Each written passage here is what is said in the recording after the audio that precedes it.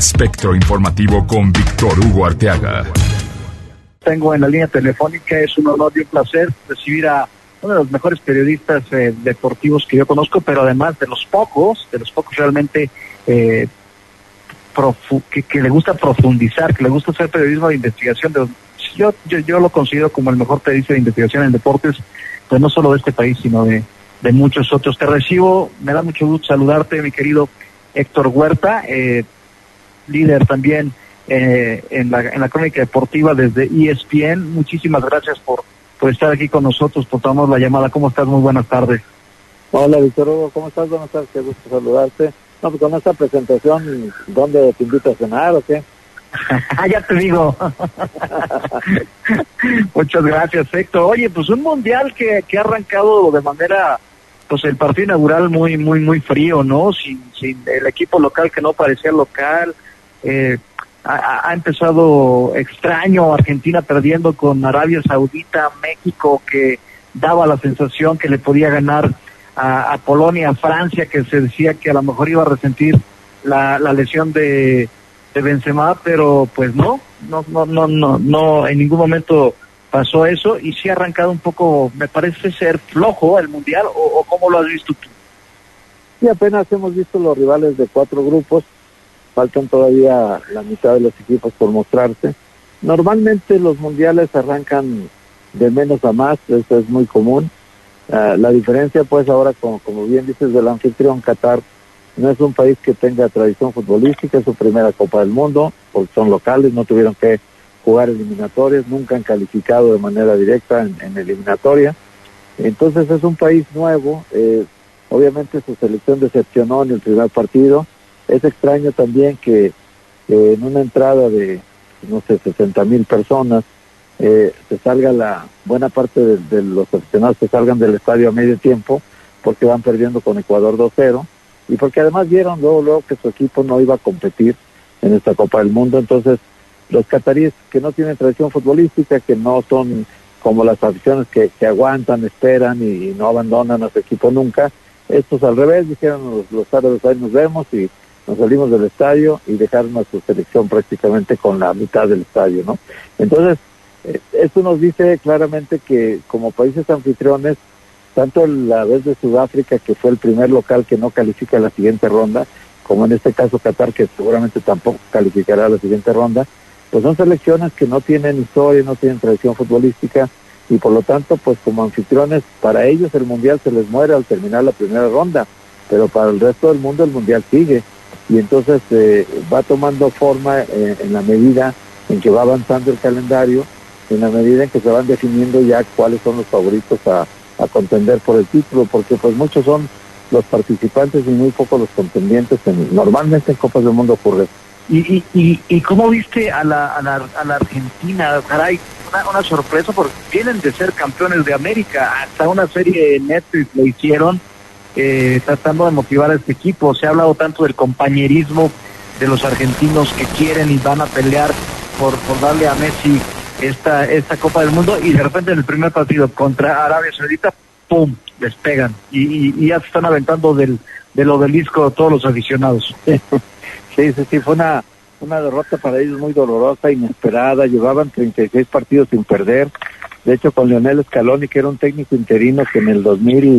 2018, por ahí de finales del 2018, eh, fuimos a una gira a México, en una gira Argentina, a dos partidos que dirigió el Tuca Ferretti todavía, un interinato ahí medio a fuerzas, pero lo hizo y fueron a jugar dos partidos, uno en Mendoza y otro en Rosario. Ambos los perdieron 2-0 contra este equipo de Leonel Scaloni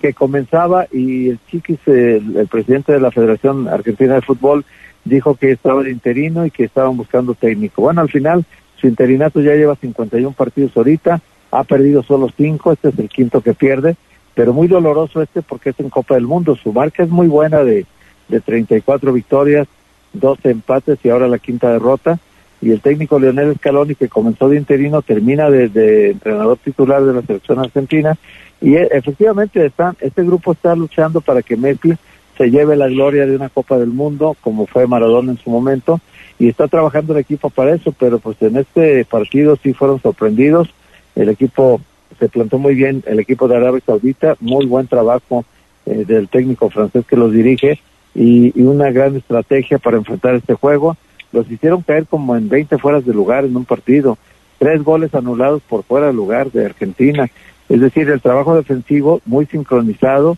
eh, muy muy dependiente también de que no haya errores arbitrales con lo del VAR. Entonces, como el VAR es una herramienta que están utilizando ahorita algunos entrenadores a favor, pues eh, tanto para en la en la en las faltas que se cometen dentro del área que antes el árbitro normalmente no las veía y hoy el VAR es un gran auxiliar para que se marquen los penaltis. Bueno, pues en este caso los fueras de lugar, aunque hayan sido eh, milimétricos, aunque hayan sido por el hombro dentro de, de zona de fuera de lugar o por un pedacito de tu pie adelante del defensor, pues, al final de cuentas son fueras de lugar y está perfectamente decretado en el reglamento que, que hay que marcarlo. Y entonces eh, Argentina fue muy sorprendida por esto, parecía muy favorito al principio, dominó totalmente Arabia los primeros minutos, pudo haberle hecho tres o cuatro goles y sin embargo terminó sufriendo una derrota ante un equipo que llegó solamente tres veces al marco argentino y de las tres llegadas fueron dos goles. Entonces, sí, para Argentina es un duro golpe, no está todo perdido, recordemos que, por ejemplo España en el Mundial de 2010 en Sudáfrica empezó perdiendo contra Suiza y terminó siendo el campeón del mundo. Yo no descartaría a Argentina, este Víctor, porque creo que Argentina tiene un plantel que tiene una comisión muy clara de qué quiere hacer y cómo lo quiere hacer y para quién lo quiere hacer en este caso, ¿no? Para que Leonel Messi pase a la inmortalidad argentina, se coloque en el mismo nicho popular que tiene Maradona ahora, que, que él no lo ha logrado en, en su país, aunque sea una gran figura mundial, en Argentina todavía le siguen reclamando que no haya ganado una Copa del Mundo, pero tampoco son cosas fáciles ganar un mundial, ¿no? Entonces, el equipo yo yo lo diría que no está totalmente derrotado y hay que considerarlo todavía un candidato en tanto no quede fuera del grupo no porque el grupo se ha puesto tan complicado que cualquiera de los cuatro incluyendo Arabia Saudita que es el líder cualquiera de los cuatro puede calificar quiero preguntarte también porque eh, distintas personas me, me, han cuestionado acerca del papel de las televisoras en esta Copa del Mundo. Caray, cada día nos ofrecen contenidos, eh, pues la verdad, basura, eh, ¿Tú cómo, cómo lo ves desde, desde adentro como, como hombre de televisión, ya tantos años, 16 me parece, en, en ESPN, y, y, habiendo entrevistado pues, quizá las dos figuras más grandes de, del fútbol a nivel mundial, tanto Pelé como Maradona los has entrevistado, y, y en medio de todo esto, ¿cómo ves tú el nivel periodístico, el nivel de, de, de, pues que nos están presentando las dos principales televisoras del país a los aficionados? Pues mira, eh, hace muchos años comenzaron esta mezcla de, meter un poco de humor, de tratar de hacer más entretenimiento y menos análisis. Y aunque sí tienen, cuando menos las que son televisiones abiertas tienen tienen sus, sus asesores, digamos, sus buenos analistas, eh, contratan e invierten porque cuestan muy caros analistas en esta época. Hay quien se gana, por decirte algo, 500 mil dólares por 30 días de trabajo, ¿no? Eh, hay gente que se puede ganar hasta el millón de dólares que lo contratan solamente para ser analistas durante 30 días y se llevan un dineral. Hay otros de 50, 60 mil, 100 mil dólares que les pagan, pero pero bueno, intentan también tener sus analistas y luego tienen secciones pues cómicas y secciones de entretenimiento y bueno, pues sí, obviamente, y tratan de tener también cápsulas culturales y, cápsulas de, de costumbres y, y, este, tradiciones de cada país que, donde se organiza un mundial. En esta ocasión me parece pues que, que cada quien está jugando con las armas que tiene. Yo veo, por ejemplo, el caso de Televisa, yo los veo bastante fuertes en su mesa de análisis. Digo, tener hoy mismo en el partido que yo vi, el partido lo vi por Televisa una parte y otro por, por un canal de Estados Unidos, pero por ejemplo, tener en la misma mesa Javier Aguirre, Ricardo Lavolpe, Rafa Márquez, a Osvaldo Sánchez, al Perro Bermúdez, que es un histórico de la crónica, eh, en fin, yo creo que sí se armaron bien eh, para este para este compromiso. Luego los sets que ha presentado Televisa allá en Qatar también son espectaculares, han han invertido mucho en eso. Eh, y TV Azteca que me tocó también oírlos, pues tiene tiene figuras muy importantes ahorita en la, en la crónica que están en su momento, como Martinolio, como Luis García, tienen a Jorge Campos, a Sague de respaldo, pues tienen un buen equipo que es atractivo para la gente, ¿no? Entonces, eh, sí, obviamente, si te consumes todo el contenido que presentan, pues eh, seguramente el balance no va a ser muy favorable para ellos, pero si consumes exclusivamente lo que a ti te parece que puede ser más nutritivo para tu para tu espíritu y para tu conocimiento, pues entonces este desde, desdeñarás muchas cosas y con otras te quedarás porque siempre al final de cuentas eh,